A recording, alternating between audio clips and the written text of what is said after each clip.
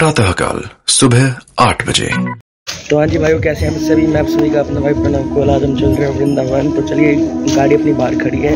तो चलिए गाड़ी में बैठते हैं और चलते हैं वृंदावन। तो हाँ जी भाई जैसे मैं गाड़ी में बैठता हूँ मैं क्या देखता हूँ? भाई गाड़ी में तो पेट्रोल ही नहीं है। तो जैसे तैसे करके इसको पेट्रोल पंप पे लिया है और फटाफट इसकी टंकी फुल करवाते हैं और निकलते हैं वृंदावन। बांकी बिहारी लाल जी के दर्शन करने के लिए।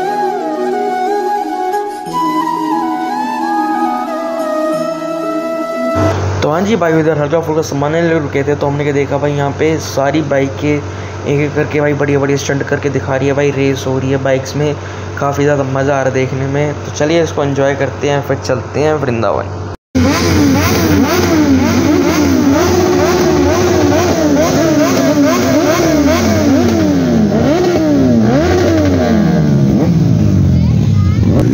हाँ जी भाइयों, एक टीम जा रही है, जहाँ को जाना था और एक टीम इधर ही है जो स्टंटी कर रही है।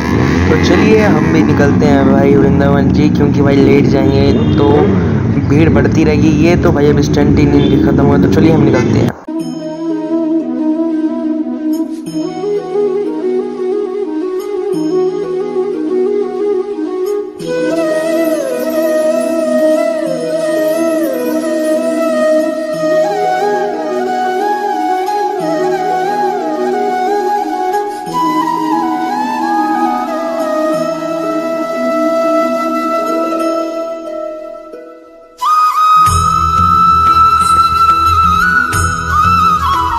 आगे बैरी लाल की जय। तो हाँ जी भाइयों पहुँच चुके हैं वृंदावन।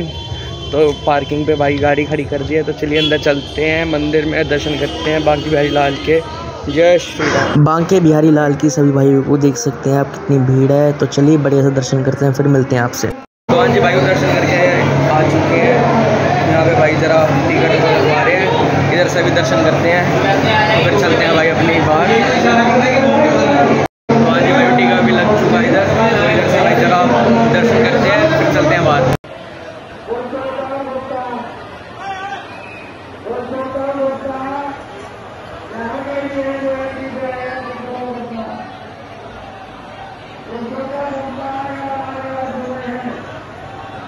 तो हाँ जी भाइयों, काफ़ी बढ़िया दर्शन है मेरे तो। तो चलिए बाहर आ चुके हैं आप सीधा चलते हैं घर अपने।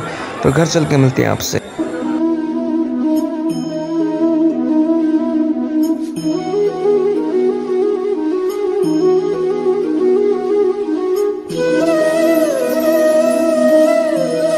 राधे राधे, सभी भाइयों को। तो हाँ जी भाइयों घर आ चुके हैं, अभी अभी घर पहुँचे हैं तो हाँ जी भाइयों रश काफ़ी ज़्यादा था, पर दर्शन अपने तब भी बहुत बढ़िया हुए। सबसे भाई आगे जाके मैंने दर्शन करे, काफ़ी बढ़िया मेरे दर्शन हो गए। तो हाँ जी भाई, अगर आपको ब्लॉग अच्छी लगी हो तो लाइक कमेंट शेयर कर देना, और राधे राधे लिखे बिना मत जाना। जय श्री राम। बाकी भाई डाल कीजिए।